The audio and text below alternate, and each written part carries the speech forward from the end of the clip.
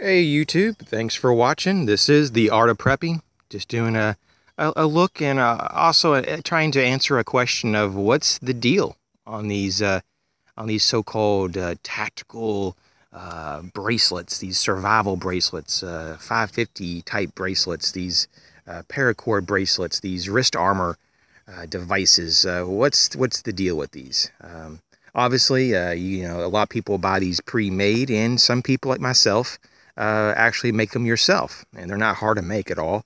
There's uh, probably at least a, a dozen or two different types of knots that you can use to make these, if not more.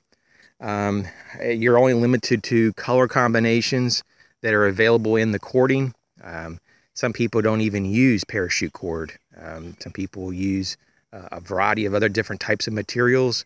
And, um, you know, and, and that basically could be anything from nylon to polyester cording to uh, even hemp. Um, it could be leather, but for this particular um, situation that we're looking at, uh, these examples, uh, we're, we're looking at uh, parachute cord, also known as 550 Type 3.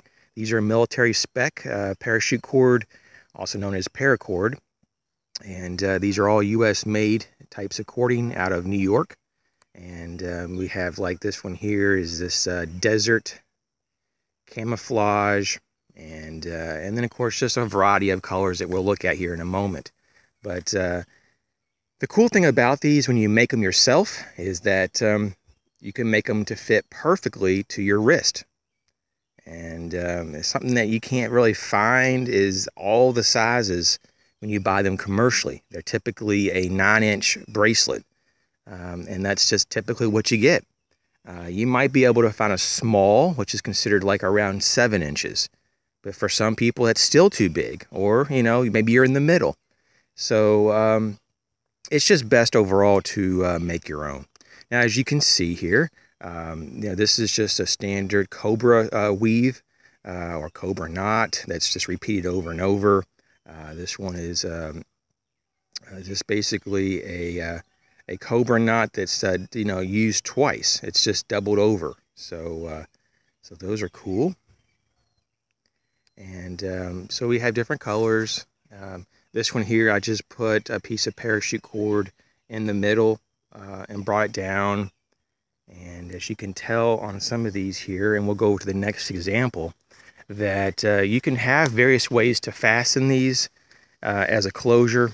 Like this one here, for example, is um, is going to have just a knot and a loop. And what you can do is you simply can just take the knot and slip it over, uh, uh, you know, the loop, uh, take it off of the knot. As you can see, it's just friction formed. This one uses a reflective 550 cord. Sorry about the light, just trying to get this right. It's kind of early in the morning, so Sun's a little funky right now. So you can do two tones, like there's a color underneath and then this reflective cord. Uh, or you can go to a solid color, like this one here. Uh, this is reflective uh, olive drab. And uh, sometimes I like, you know, solid color. Sometimes I like two tones. And this one uses a uh, buckle clasp.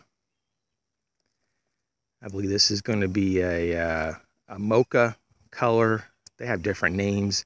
The coffee color looks very similar. So that there's uh, there's other types of uh, connectors too. You know, there's there's a whole host of them. In fact, some of them have whistles and ferrocerium rods on them, and some of them are made of metal or steel, and they can be used as flint strikers, and in the whole medley. So just wanted to talk about these and you know what the hype was, and I think in the nutshell is just they're they're cool. They could be a fad, but I think that uh, the fad has kind of run so long now that I think it's more than a fad. I think it's just part of the culture of survivalist preppers and maybe even bushcrafters. Uh, that this is just a symbol to those who know about these and that li- that lifestyle. That um, it's an option.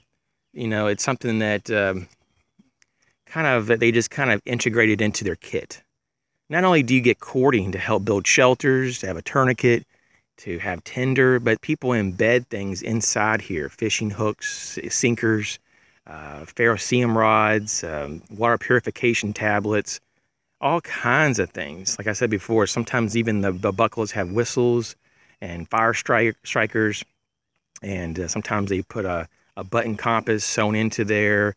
Lots of things you can do with this. And so uh, obviously on Amazon and other sites, you can kind of get a medley of an idea of what is uh, incorporated in some of these. Sometimes they do keychain fobs that they call like, uh, you know, paracord grenades, which they basically just wrap a big, you know, you know, wad of kit with paracord and put a carabiner. And so you can, you can, you know, transport and carry it easier.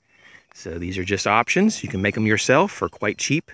And I would recommend that over buying them. But uh, if you just wanted to get your first one, there's nothing wrong with buying the first one, looking at it, seeing how you want to make yours. And then from there on out, just buy your own parachute cord. I think a good source to buy parachute cord would be uh, campingsurvival.com. Campingsurvival.com uh, is a good resource. Uh, so thanks for watching again, and uh, have a great day.